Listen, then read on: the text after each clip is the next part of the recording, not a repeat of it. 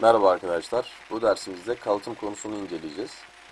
C Sharp'taki kalıtım konusu biraz uzun olduğu için ben e, bu dersimizde bir slide hazırladım. Bundan yardım alacağız bu konuda. E, konuya giriş yapmadan önce de kendi blogumda yazmış olduğum bu konuyla alakalı uzun bir yazı var. Bunu öncelikle okumanızı tavsiye ediyorum. Bunun sayfaları da var. Ona dikkat etmenizi istiyorum. Evet, konuya bir giriş yapalım. C Sharp kalıtım miras. Sınıflar arası hiyerarşik yapı oluşturabilmek için oluşturulmuş Object Oriented Programming tekniklerinden birisidir. Ee, kalıtımda iki tane temel terimimiz vardır. Bunlar Derived Class ve Base Class kavramlarıdır. Kalıtım alan sınıfa biz Derived Class, kalıtım veren sınıfa ise Base yani temel class deriz. Bunlara türeyen sınıf ya da türeten sınıf olarak da isim verebiliriz. Bir sınıf başka bir sınıftan türerse eğer o sınıfın public ve protected tanımlı yapılarını devralacaktır. Public ve protected terimleri access modifiers yani erişim belirleyicileridir. Şimdi e, kalıtım konusunun alt başlığından birisi access modifiers'tır. Yani erişim belirleyicileridir. Bunları değinmeden kalıtım konusuna giriş yapamıyoruz. Onun için hızlı bir şekilde bu erişim belirleyicilerini görelim. Burada gördüğünüz gibi 5 tane yani public ve private ile beraber 5 tane ee, erişim belirleyicisi mevcuttur. Bunları teker teker incelersek eğer public ve private. Bu bildiğimiz erişim belirleyicisidir. Sürekli kullandığımız public erişim belirleyicisiyle oluşturulan metot ya da propertiler oluşturulduğu class dışında da erişilebilir. Private ise e, erişim belirleyicisi private erişim belirleyicisi ise oluşturulan metot ya da propertiler oluşturulduğu class dışında başka bir class'ta kullanılamazlar. Public'te e, public kullanılan elemanlar başka bir sınıfta kullanılıyor. Private kullanılan elemanlar bulunduğu sınıf dışındaki başka bir sınıfta kullanılamıyor. Protected eğer bir class içerisinde bir eleman bir metot protected olarak tanımlanmışsa o yapı o class için private ve o class'tan türeyen class'lar için public davranış sergileyecektir. Yani protected elemanlar, pardon protected elemanlar sadece o class ve o class'tan türeyen class'larda kullanılabilirler. O class'tan türemeyenler de kullanılamazlar. Internal eğer bir class içindeki ifade internal ile işaretlenmişse sadece o assembly yani solution ya da exe içinde kullanabilirler. Kalıtım alsın ya da almasın. Ama e, diğer yerlerde kullanılamayacaklardır. Mesela bir DLL projesi içindeki bir class'ta internal işaretli yapı varsa o değerlerin eklenip kullanıldığı başka solution'lar içindeki yapılarda kullanılamayacaklardır. Diğer yapımıza geçersek protected inter, internal. Şimdi bu protected ile internal'in birleşmiş halidir. Başka bir assembly içinde eğer bir class bu assembly'deki bir class'tan türemişse o class içindeki protected internal ifadeler protected olmalarından dolayı kullanılabilirler. Ama türemeyen class'lar içinde bu elemanlar aynı zamanda internal oldukları için kullanılamazlar. Evet. Ee, şimdi access modifier başlıklarını birazcık detaylandırdıktan sonra ee, tabi teorik olarak bir bilgi verelim. Şimdi kalıtım diyoruz. C Sharp'ta oluşturulan her sınıfın object sınıfından türediğini sizlere söylemek istiyorum. Tabi bazı sınıflar vardır istisnai olarak. Onlar türememektedir ama bizim en azından ileri düzeye kadar görebileceğimiz bütün sınıflarda e, bütün sınıflar object sınıfından türeyecektir. Burada e, object sınıfından otomatik türemeden söz ediyorum. Yani biz bir müdahale etmiyoruz. Bir sınıf yazıp oluşturduğumuz sınıftan nesne yaratırsak eğer o sınıfın, e, o nesnenin içinde otomatikman şu gördüğünüz metotları göreceksiniz. Halbuki biz oluşturduğumuz sınıfların içinde hiçbir zaman bu metotları yazmıyoruz. Ama varsayım olarak sanki bu metotlar geliyorlar. İşte bu metotların temel sebebi object sınıfından bütün e, mimarinin object sınıfından türediğini varsayarsak eğer ne yaparsak yapalım bütün sınıflarda bu metotlar gelecektir. e, bu metotlar tabi object sınıfından kalıtım yoluyla gelmektedir. E, her nesneden ulaşılabilen bu metotlar aslında object sınıfının metotlarıdır demişiz. Evet. Bir sınıf sadece tek bir sınıftan kalıtım alabilir.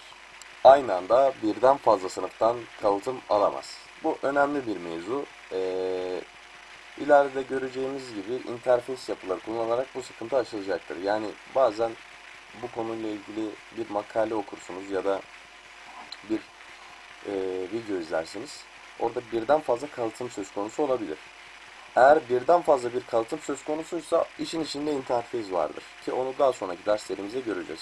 Ama inheritance'larda e, yani sınıflarda sadece bir tane kalıtım söz konusu olabilir. Şimdi base class detaylarından bahsedelim. Base class neydi? Türeten sınıf. Yani üst sınıf. Temel sınıfımız. Türeten sınıf base class, türeyen sınıf derived class için base olarak kabul edilir. Yani base komutuyla biz türeten sınıfa ulaşabiliriz. Yani her sınıfın base'i kendi türediği sınıftır. Bu da e, önemli bir durum. Her sınıfın base'i kendi türediği sınıftır.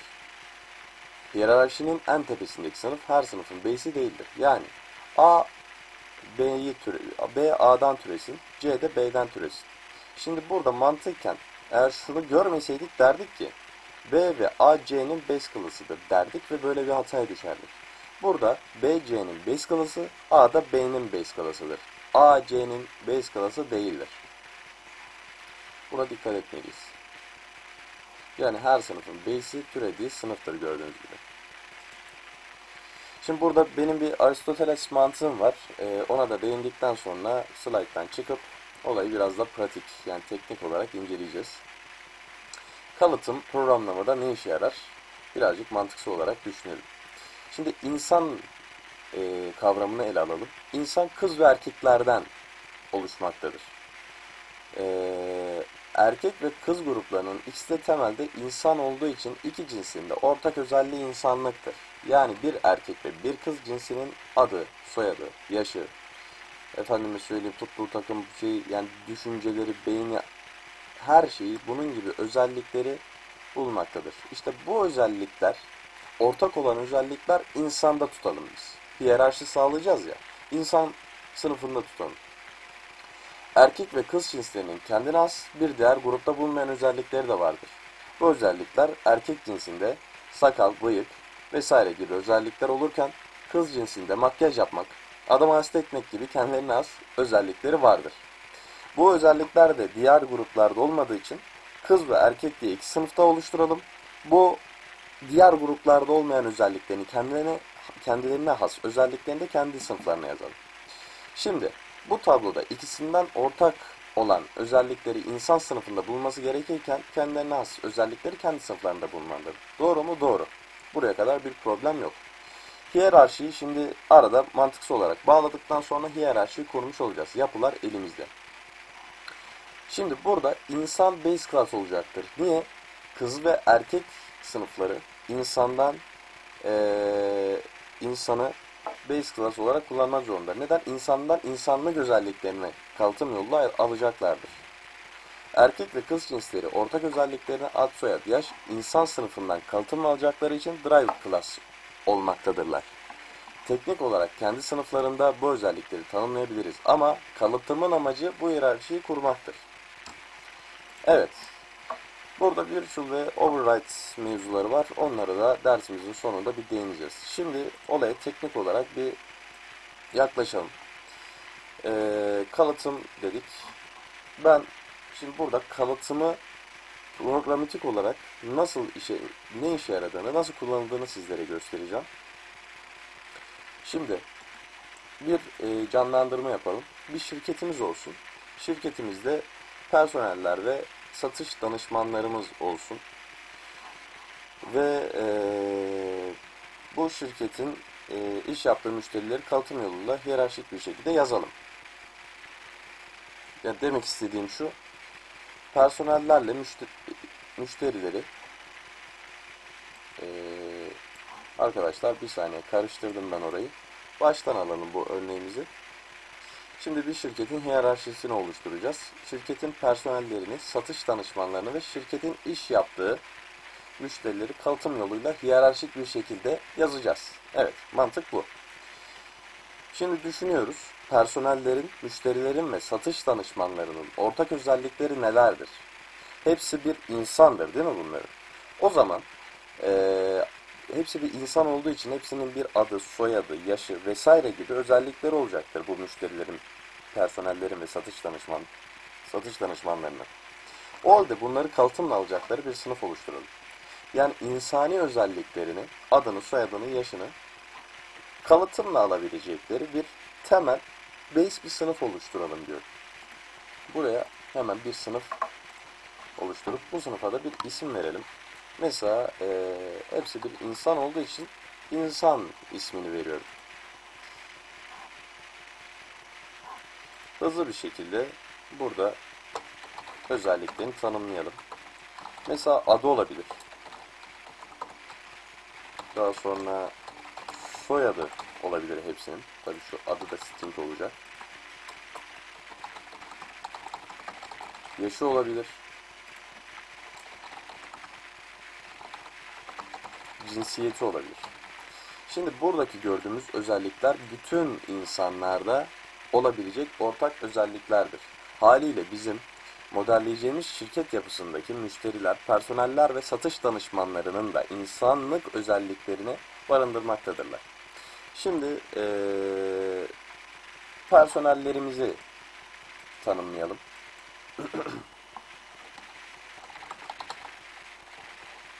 Şimdi personellerimiz kendine az özelliklerini barındıracak. Mesela eee, maaşı, personel maaşı. Bu personel maaşı bütün insanlarda olmadığı için insanda değil personelde, personeller sınıfında bulunmaktadır. Haliyle bir tek personel maaşını personeller almaktadır. Ya da eee personel ünvanı bütün insanlar personel ünvanı almadığından dolayı bu da personellere has bir özelliktir. ya da personel çalışma süresi. Bütün insanların çalışma süresi olmadığı için bunu da personellere has bir özellik olarak alıyoruz. Şimdi eee, burada biz personeller sınıfını bir inceleyelim. Şöyle formumuza gelelim. Personellerden bir nesne oluşturduk. P nokta dedik. Gördüğünüz gibi sadece personellerde yazdığımız özellikler geldi. Ha burada hemen şuna da değineyim. Bakın toString, getType gibi bu metotlarımız da gelmektedir. Bunları da slide'da bahsettiğimiz gibi object klasından eee türediği için bütün mimari oradan gelmektedirler. Bunları biz eklemesek de eklesek de gelecektirler. Gördüğünüz gibi personeller sınıfında yazdığımız şeylerimiz geldi, özelliklerimiz geldi. Peki her personel bir insan değil miydi? Evet. O zaman personellerimizi biz insan sınıfında türetelim. Onu da burada sınıf klas personeller yani klasın yanında klas isminden sonra iki nokta üst üste diyerek bu sınıf personeller sınıfı hangi sınıftan türeyecek onu belirteceğiz. İnsan diyorum. Evet. Artık bu şekilde bir kullanım yaptıktan sonra personeller sınıfı insan sınıfından türedi, türet demiş oluyorum. Ve personeller sınıfını yeniden çağırdığım zaman nesnesine nokta dediğim zaman gördüğünüz gibi personellerden gelen özelliklerimizin yanında base class'ta bulunan adı, cinsiyet, soyadı gibi özelliklerimiz, yaşı gibi özelliklerimiz de gelmiştir. Burada personeller çalışma süresine tıkladığım zaman şurada gördüğünüz gibi personellerde bulunan bir özellik olduğunu belirtirken adına tıkladığım zaman gördüğünüz gibi insan sınıfında bulunan bir özellik olduğunu belirtmektedir.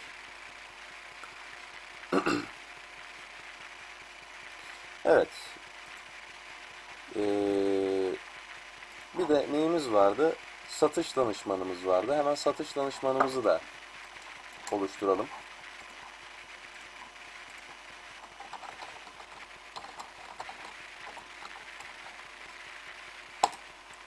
Burada şundan da bahsetmek istiyorum. Biz bir entry oluşturduğumuz için burada insan çoğul değil, doğru. Satış danışmanı da çoğul değil, doğru. Personelleri çoğul yazdık.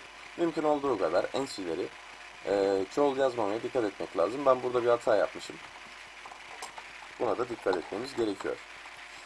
E, satış danışmanımızın bir özelliğinden bahsedersek satış sayısı bizim için yeterli olacaktır. Her insan satış sayısı özelliğini barındırmak zorunda değildir. Satış danışmanlarına özel bir özelliktir.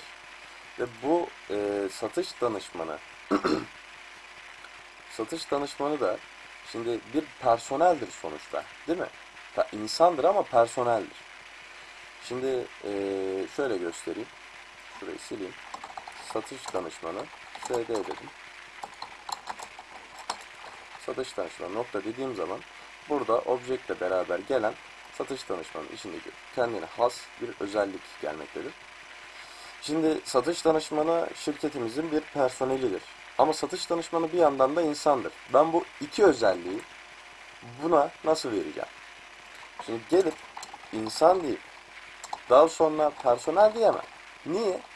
Ben başta slaytlarda ne demiştim? Bir sınıf bir tane sınıftan türeyebilir. İkinci bir sınıftan türeyemez.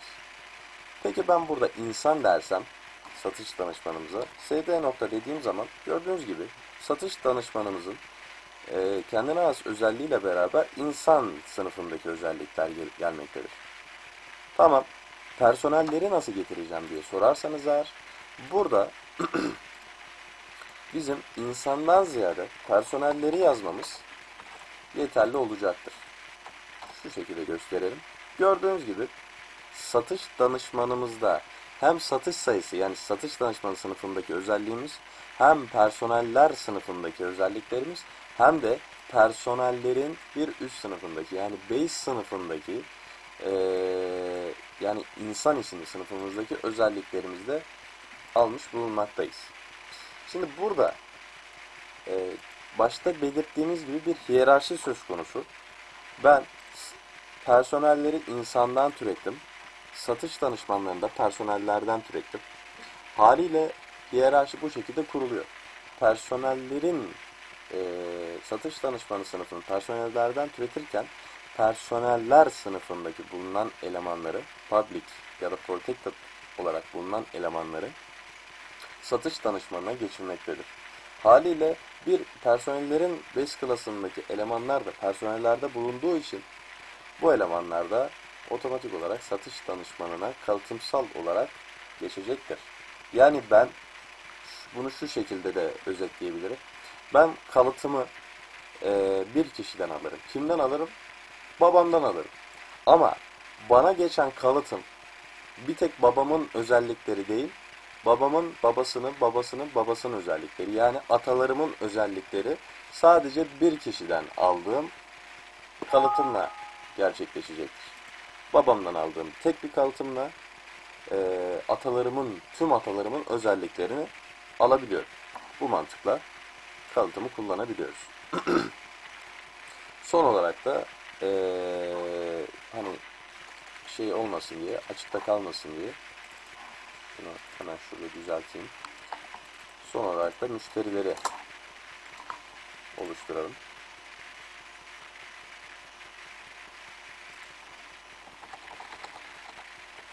Şimdi müşterilerimiz bunları da mesela her müşteri bir şirkette çalışmaktadır. Müşteri şirket. Yani varsayalım bizim firmamız, e, şirketimiz müşteri dediği şirkettir mesela. Şimdi her insanın şirketi yoktur ama her müşterinin bir şirketi vardır. Ve müşteriler bir insandır. Onun için bunu da direkt insan olarak alabiliriz. Şimdi ee, gördüğünüz gibi bu şekilde kalıtımı kullanıyoruz. Mesela burada ben insandan bir sınıf türetsem ve insan dediğim zaman gördüğünüz gibi adı propertisi burada insandan geldiğini görüyorum. Peki. Ee,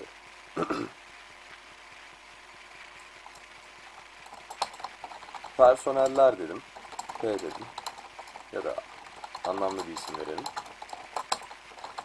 Personel. Gördüğünüz gibi personellerimizde personel maaşıyla adı yani hem personellerimizdeki özellikler hem de base class'ımızdaki yani insandaki özellikleri görmekteyiz. Tamam sıkıntı yok. Ve son olarak burada şeye de bakalım. Satış danışmanı. SD diyelim buna da. Satış danışmanımıza baktığımız zaman da hem insandaki hem personellerdeki hem de satış danışmanındaki özellikleri barındırmaktadır. Buradaki bahsettiğimiz özellikle satış danışmanlarının danışmanının personellerden kalıtım almasıdır. Haliyle kalıtımı personeller sınıfından alsa da bütün atalardan yani hiyerarşinin en tepesindeki public protected olan elemanlara e, hiyerarşiden çekecektir kendisini. O nedenle burada nokta dediğimiz zaman bütün e, kalıtımsal elemanları burada görüyoruz. Müşterilere bakarsak eğer, müşteriler sadece insandan kalıtım aldığı için sadece müşteri ve insanın özelliklerini barındıracaktır. Evet, bir problem yok. Şimdi kalıtımdan bahsetmiş olduk. Kalıtım teknik olarak ee, bu şekilde kullanılmaktadır. Lakin birkaç husus var. Onlardan bahsetmek istiyorum.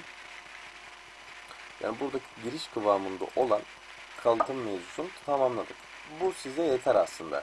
Ama biraz daha derin, biraz daha teferruatlı ve biraz daha olası hatalardan bahsetmek istiyorum. Evet, her tekniğin içinde olduğu gibi kalıtım tekniğinin içinde de olası hatalar, gizli hatalar söz konusudur. Mimarinin e, teorisini ne kadar iyi bilirsek gizli hataları da o kadar iyi anlayabiliriz. Şimdi bahsetmek istediğim konu şu. Hızlı bir şekilde örneklendireceğim.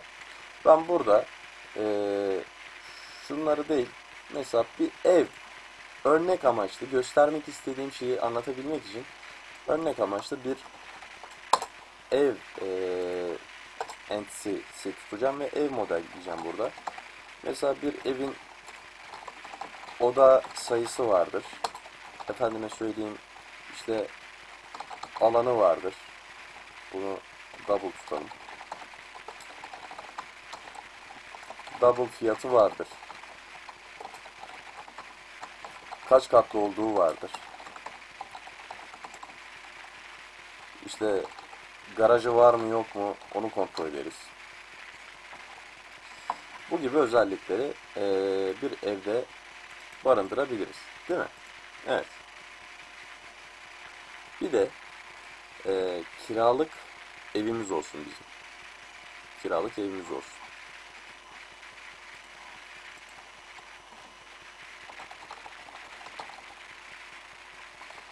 Kiralık diyelim biz buna. Şimdi bir kiralık evinde ne olabilir?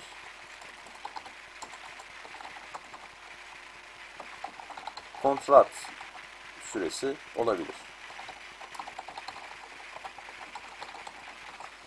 Haliyle diğer ev özellikleri de olacaktır. Sadece kiralık olduğu için kontrat süresini buna ekleyeceğiz.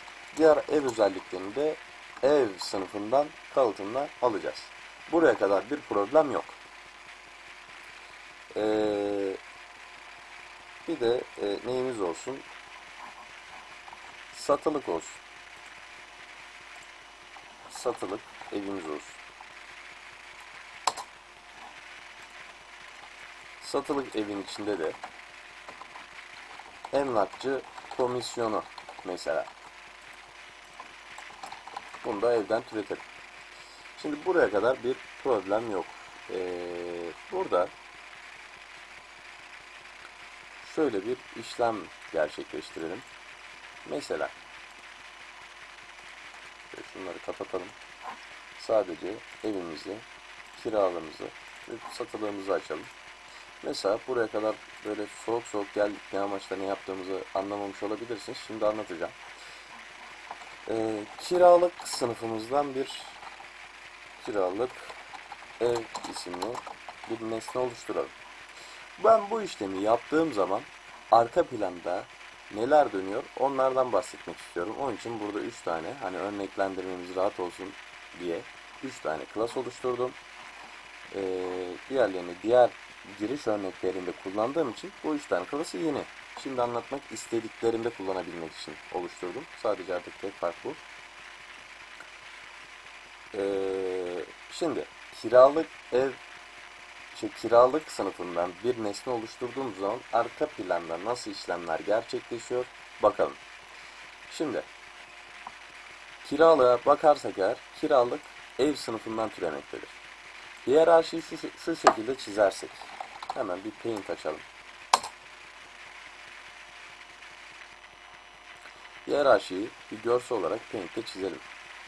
Mesela bu kiralığımız olsun. Bu da base klası ev olsun. Rengi de kırmızı olsun. Şimdi ee, kiralık evden bir nesne ürettiğimiz zaman yani ben bundan bir nesne talep ettiğim zaman bu nesne arka planda kiralığa gidecek. Ee, kiralıktan nesne üretmeden önce bunun base klası hangisidir? Budur. Gelecek buna. İlk önce bundan bir nesne üretecektir. Bundan ürettiği nesneyi konstraktörü çalışacak. Gerekli ee, işlemler neyse yapacak. Base class arka planda yani çalışmış olacaktır. Daha sonra gelecek. Bunun nesnesini üretecek. Ve en son referansımıza kiralığı bağlayacaktır. Yani anlatmak istediğim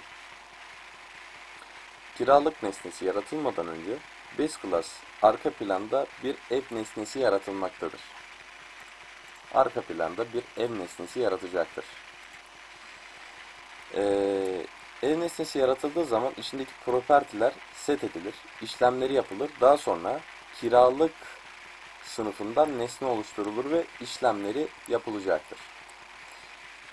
Kısaca bir sınıf base klasının konstruktörü her zaman driver klasının konstruktöründen önce çalışacaktır. Bu kadar basit. Ben kiralıktan bir nesne oluşturuyorsam önce ev klasından nesne oluşturulacağı için neden? Ki çünkü kiralık ev klasından kalıtım alıyor. Ev klası oluşturulacağı için ev klasının konstruktörü kiralık sınıfın konstruktöründen daha erken çalışacaktır. Peki ben burada şöyle bir değişiklik yapsam eve gel gelip varsayılan konstruktörü ezip parametreli bir konstruktör alsam ve buradaki parametremizi de işte rastgele parametre dedim. Çok da önemli değil. Sonuçta bir parametreli konstruktöre çevirdim ve boş konstruktörümüzü ezmiş oldum. Böyle bir durumda ne olacak bakalım.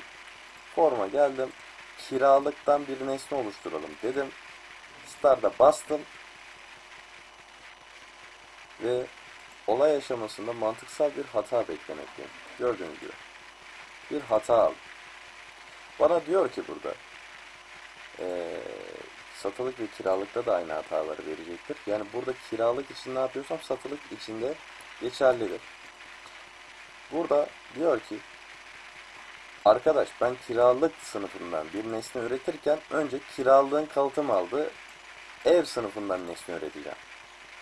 E ben bundan nesne üretirken ben varsayıyorum ki burada ev sınıfının boş konstruktörüne çağırıp nesne üretmeyi varsaymış oluyor bu şekilde. E ne yapmam gerekiyor diyor, diyor bana. Ben de e, bir müdahale etmediğim için kiralık sınıfında hata almaktayız gördüğünüz gibi. Yani burada arka planda evin nesnesini oluştururken boş konstruktör ile oluşturmaya çalışıyor. Halbuki evde bir tane konstruktör var. O da parametreli konstruktörümüz. Ee, buna uyumlu bir şekilde yani şu işlemi yaparken kiralıktan nesne oluştururken arka planda base class'ın konstruktörünü çalıştıracak uyumlu bir işlem yapmadık. Bunu yapmanın birkaç yöntemi vardır. Hemen gösterelim. Burada kiralığımıza gelip kiralığa bir konstruktör yazıyoruz.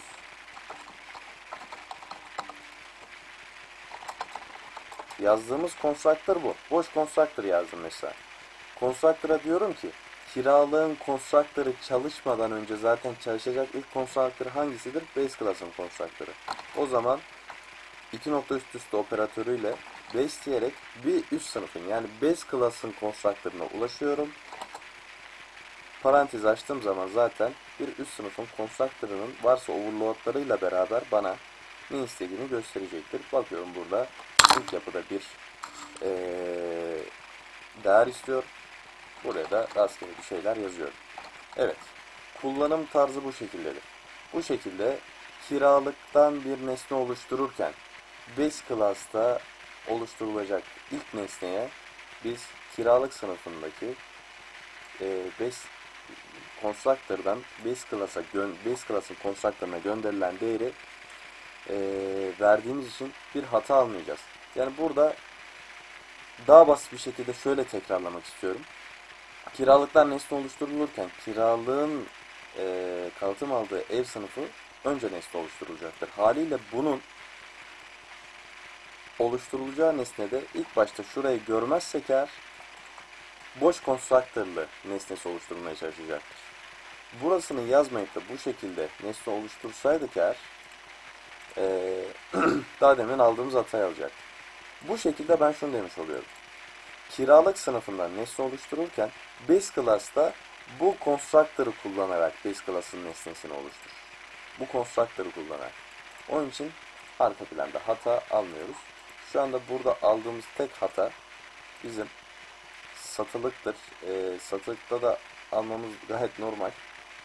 Çünkü aynı işlemi onda da yapmamız gerekmektedir. Ee, burada olası hatamız budur. Mesela satılıkta nasıl bir önlem alabiliriz? Ondan bahsedelim. Ee, satılıkta da şöyle bir önlem alabiliriz. Direkt gelip burada ev klasımızın içine boş bir constructor ekleyebiliriz. Bakın ikinci örneğimiz de budur. Bu sefer de satılıkta kurtulacaktır. Ve programımız rahat bir şekilde çalışacaktır. Gördüğünüz gibi. Evet. Şimdi ee, birinde biz kiralıkta bu şekilde bu hataya önlem almış olurken diğerinde de direkt base klasımıza boş constructor yazarak bu önlemi almış oluyoruz. Lakin ikisi arasındaki fark kiralıkta hangi constructor'ı kullanacağımızı belirtmiş oluyoruz. Mesela burada base'e gelip bakın overload'da istesem ben bunu da direkt kullanıp şu şekilde bir işlemde yapabilirim. Aslında satılıkta yapmış olduğum işlem buradaki işlemin aynısıdır. Satılığın boş varsayılan boş constructor'ı base sınıfa aynen bu işlemi uygulamaktadır. Yani ben burada bunu yaparsam burada ek olarak ikinci overload'u kullanmış oluyorum. Varsayılan olarak bu diğerini kullanıyorum. Sanırım burada birazcık karıştı olay. Ee, bu olay aslında metinsel olarak daha rahat algılanabilen olay. Şahsen bana sorarsanız. Ha, ee, bir de bu olayı ben tahtada anlatmayı, görsel olarak aktarmayı daha rahat buluyorum. Burada anlatmak biraz zor. Eğer burada bu konu hakkında bir eksiğiniz olursa lütfen bana danışınız. E, gerekirse daha güzel bir şekilde bir video çekip yayınlayabilirim. Benim için hiç sorun değil. Şimdi son olarak da e, slaytımıza dönersek eğer şöyle en sonda bulunan virtual ve override yapılarından bahsedeceğiz. Şimdi virtual ve override yapılar dediğimiz olay şu burada yazılıdır. Hemen okuyalım. Eğer base class içindeki bir metot derived class'larda farklı bir biçimde kullanılacaksa o metot base class içinde virtual olarak tanımlanmalıdır. Böylece bu class'tan türeyen class'lar kendi içlerinde base class'ta virtual olarak belirtilen metotları yeniden tanımlayabileceklerdir. Override ise bir class'ta kalıtım yoluyla gerçekleşen, ee, geçen ve virtual olarak tanımlanmış yapılar metot ya da property yeniden tanımlanıp farklı işlemler yapılabilir. Override yazıp bir boşluk bırakıyoruz. Sonra metot ya da property seçtikten sonra tab tab tuşuna basıyoruz. Buradaki bahsettiğimiz şeyi hemen hızlı bir şekilde örneklendireyim. Hemen burada da AB isminde iki tane sınıf oluşturalım. Biri A olsun. Biri de B olsun. Mesela B A'dan kalıtım alsın. A'nın içinde de birkaç tane metot e, ya da property ekleyelim. Metot ekleyelim şimdilik. Public işte void isim yaz. İsim yazdır diyelim. Ben burada dedim ki return Gençay mesela bu metodu çağırdığımız zaman e, return Gençay demişim pardon e, string diyelim o zaman. Bu metodu çağırdığımız zaman Gençay e, değerini geri döndürecektir. Lakin ben buna virtual anahtar kelimesini koyarsam bu şu işlemi gerçekleştirmektedir. E, base nokta diyerek Tabii burada bir metodun ya da bir yapının içinde olmamız gerekiyor. Ee, public Tamam base nokta demeye gerek yok. Hemen şu şekilde göstereyim. Ben ilk önce bir constructor'ımızın içinde base nokta dediğim zaman isim yazdır metodunu görüyorum gördüğünüz gibi. Bunu çağırdığım zaman bana zaten varsayılan e, gençay değerini geri döndürecektir. Ve ben bunu formumuzda şöyle e, B nesnesi oluşturduğum zaman B nokta isim yazdır metodunu çağırıp mesaj box'a yazdırırsam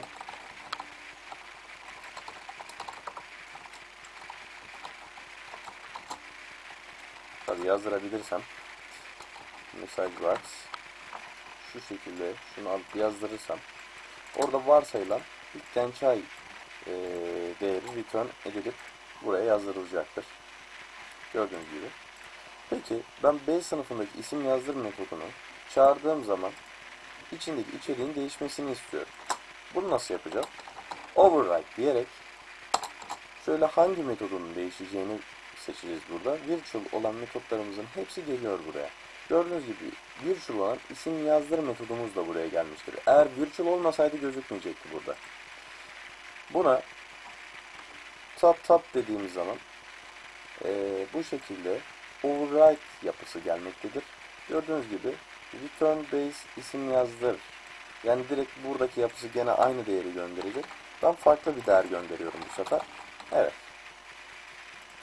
Eğer ki şimdi projemizi çalıştırırsam e, A sınıfındaki isim yazdır değerinin yapısı B sınıfında override ile ezilip farklı bir işlevsellik kazanmaktadır. Haliyle farklı sonuçlar bize vermektedir. Override sayesinde. Burada e, şundan da bahsetmek istiyorum.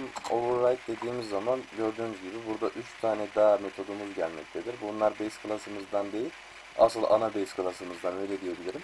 E, yani object sınıfından gelmektedir.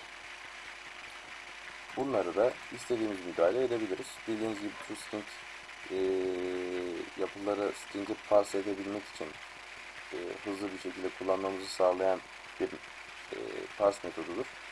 toString ki ben burada override ederek farklı işlemlere de büründürebiliyorum. Evet. E, bu dersimizi de burada sonlandıralım artık. Fazla uzatmaya gerek yok. Eğer takıldığınız nokta olursa bana yazabilirsiniz. Soru da sorabilirsiniz. Her türlü yardımı sizden esirgemeyeceğim. E, hepinize iyi çalışmalar diliyorum. Tekrar görüşmek üzere.